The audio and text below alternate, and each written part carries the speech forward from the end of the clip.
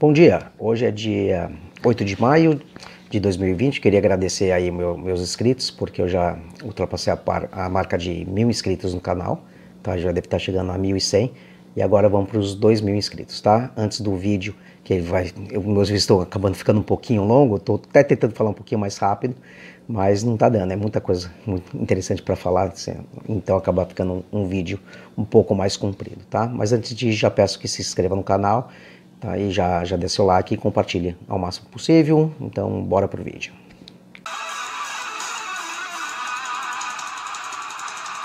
Então vamos pro vídeo. Esse daqui vai ser o primeiro vídeo, na verdade o primeiro livro que foi indicado aqui no, no meu canal. Então um amigo que eu conheci no Twitter, depois ele, ele se inscreveu no, no canal aqui do YouTube, chama Vinícius Mariano. E ele, desse livro aqui, que está aqui é Bandidolatria e Democídio, ensaio sobre garantismo penal e criminalidade no Brasil.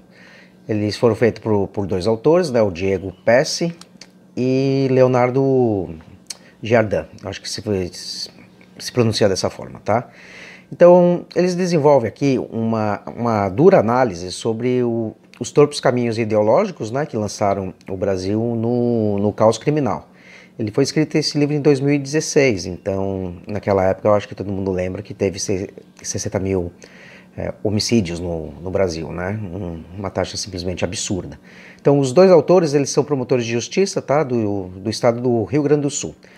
Na apresentação do livro, eu já conta duas histórias de latrocínio, né? Que são obviamente histórias reais, mas foi, foram acontecidas, né? Com a editora do, do livro, a Márcia Xavier de Brito, e o coeditor da obra, que é o Carlos Eduardo Bertuolo.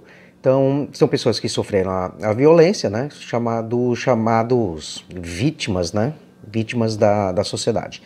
Já no prefácio de Percival Pugina, há uma introdução, que eu achei simplesmente magistral do tema, que, que será abordado né, aqui do, no, no vídeo e no livro, claro, e o, o mesmo percebe um, absoluta honestidade vai, intelectual do, dos autores, tá? E um compromisso que eles têm com o bem da sociedade. Eu vou fazer uma importante aqui citação na íntegra né, do, do que Perceval ele escreveu em dezembro de 2016, tá? E isso está na página 16. A bandidolatria aposta no caos da segurança pública como berçário de sua utopia. Por isso, não hesita em reprimir a atividade policial em ser a favor do desarmamento da população, contra a construção de novos presídios e hospitais psiquiátricos, contra a pena de prisão e contra a redução da maioridade penal, contra a prisão após condenação de segunda instância e tem verdadeira devoção pelo sistema recursal do processo, do nosso processo penal, tá? Hum, isso aqui é bem enfático porque são tudo coisas que, que acontecem e, e a gente está vendo aí o problema principalmente com a prisão em segunda instância, né? Que que agora não, não pode mais, né? ainda na época ainda estava em discussão, tá? Então, o livro ele está dividido em, em, duas partes. Na primeira, quem escreve é o Diego Pesce e a segunda, o, o outro autor, tá? O Leonardo Giardin. Então, claro, como eu faço em, em, todos os meus vídeos, né? A intenção não é resumir ou mastigar né, os conceitos do livro para vocês, e sim instigar a curiosidade para que vocês comprem e leiam um, os livros, tá? Então, a primeira parte ele começa com os crimes ocorridos na data de 25 de agosto de 2016. Eu vou mais citar essa parte dos crimes e o resto vocês ficam por conta própria, lendo o livro. E, e esse, esse crime saiu numa edição do Jornal do Correio do Povo do, do Rio Grande do Sul.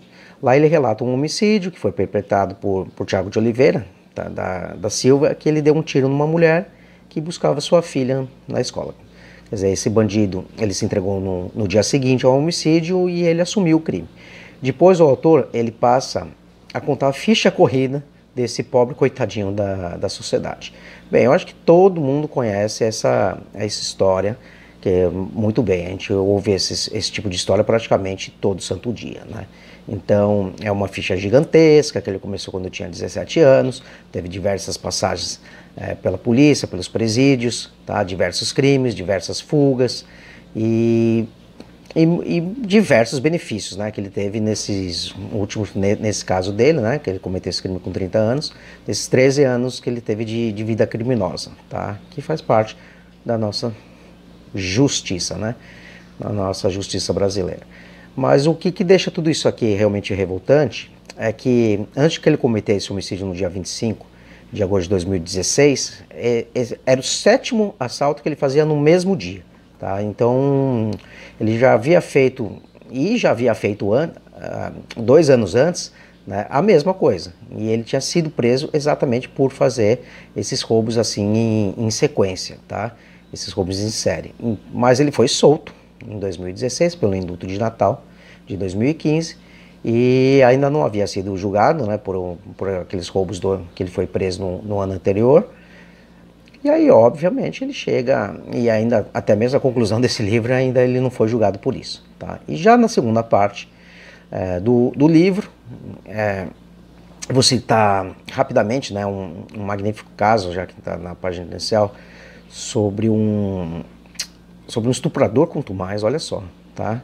e que por falta de vaga no presídio o juiz deixou no regime aberto e durante esse período a de novo vítima da sociedade, né, como eles gostam de dizer, e estuprou muito, estuprou muito mais gente, né? Então são casos que a gente conhece muito bem. Eu acho que é uma maravilha né, da hipocrisia progressista, né, que todos nós infelizmente temos que que ver e aturar todos os dias, tá?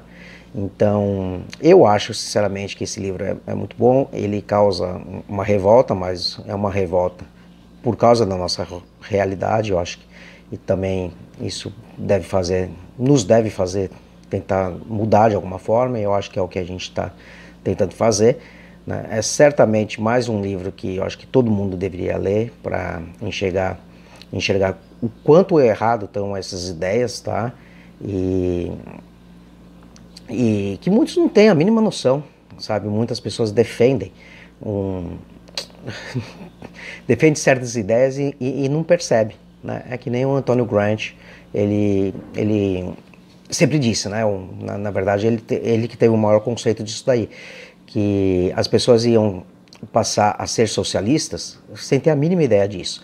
E como é que é feito esse processo, né? Mais para frente, em diversos livros, a gente vai explicando melhor sobre isso mas eles vão incutindo alguns conceitos e a pessoa acha que ele tem um conceito próprio, a ideia própria de, de que aquilo que é que eles estão passando para ele é, foi ele que, que criou. Então, por exemplo, que nem a noção do aborto. Tem um monte de gente. É, como que começa? Primeiro começa em um tipo de caso, entendeu? Ah, então, em caso de estupro, no caso de perigo da, da mãe falecer, entendeu?